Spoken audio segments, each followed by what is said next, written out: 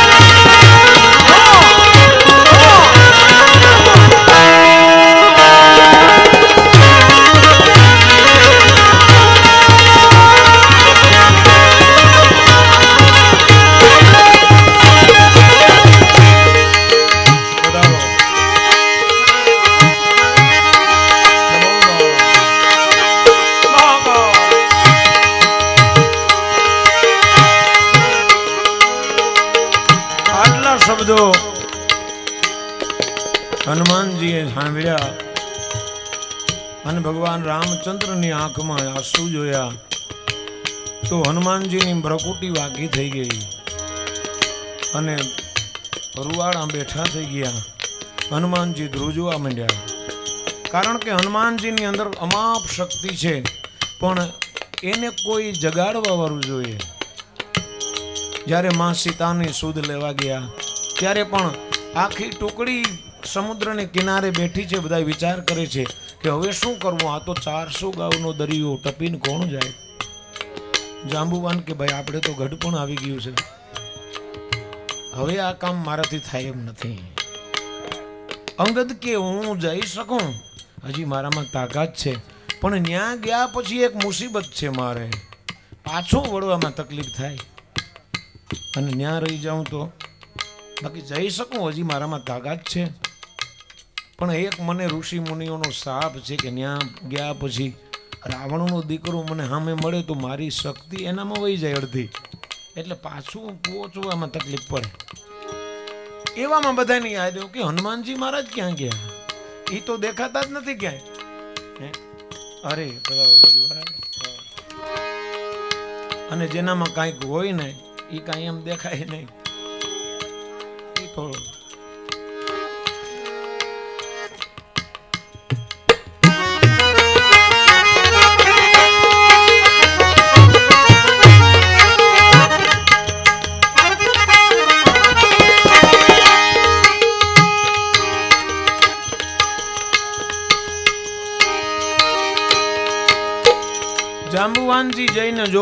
બાજુના પહાડની ટેકરી ઉપર બેઠા બેઠા આંખો વીચી અને ધ્યાનમાં બસ, હે શ્રી રામ જય શ્રી રામ બેઠા બેઠા આનંદથી બસ. અને હનુમાનજીએ, જાંબુવાનજીએ જ્યારે કીધું, રામ કાજ તબ લગી અવતારા. અને વિરાટ સ્વરૂપ લઈ લીધો. એવી મચક મારી કે જે પહાડ ઉપર બેઠા હતા એ પાતાળમાં ઉતરી ગયો. હનુમાનજી હનુમાનજીના ભગવાન રામના શબ્દો સાંભળી હનુમાનજી